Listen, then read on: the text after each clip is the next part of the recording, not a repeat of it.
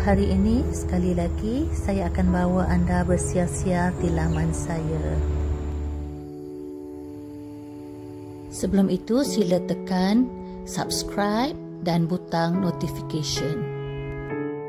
Di dalam video ini saya akan tunjukkan ros Jepun jenis Duna ataupun yang berdaun lebar dan juga jenis selapis. Bunga-bunga yang terdapat di laman saya ni ada yang dibeli, ada yang saya dapat dari rumah kawan, ada juga warna-warna baru ataupun ID-ID baru yang terhasil hasil proses pendebungaan oleh lebah dan juga kelulut.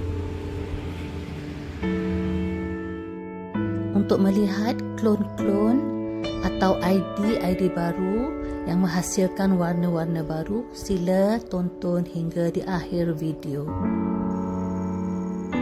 Jenis ros Jepun berdaun lebar atau di Malaysia dikenali sebagai tuna dan juga jenis selapis agak cerewet penjagaannya kerana dia mudah mati akibat lebihan air.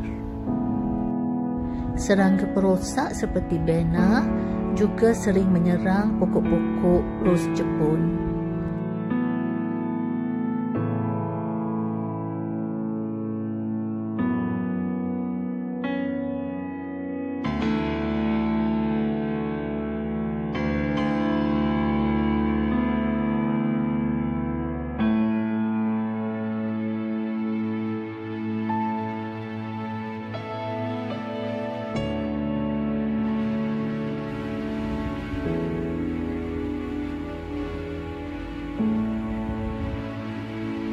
Untuk mengetahui cara-cara saya menjaga pokok-pokok bunga ros Jepun, cara merawat, cara mengelak daripada serangan penyakit, sila rujuk video-video terdahulu dari Mak Intan's Garden.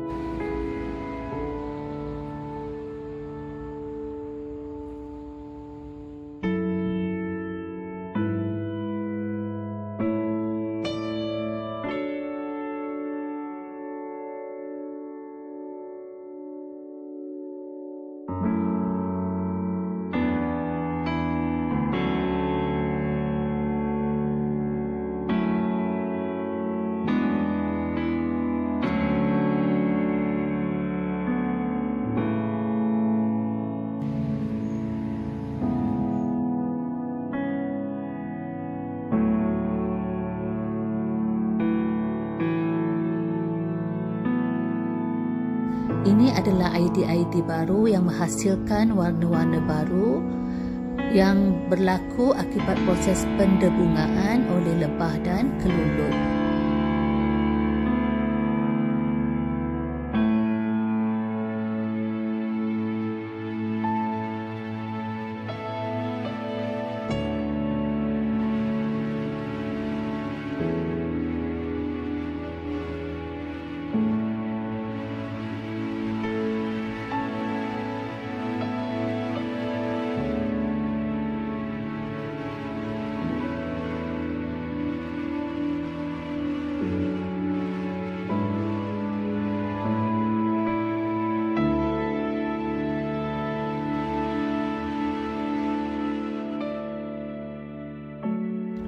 Terima kasih kerana menonton dan jangan lupa subscribe.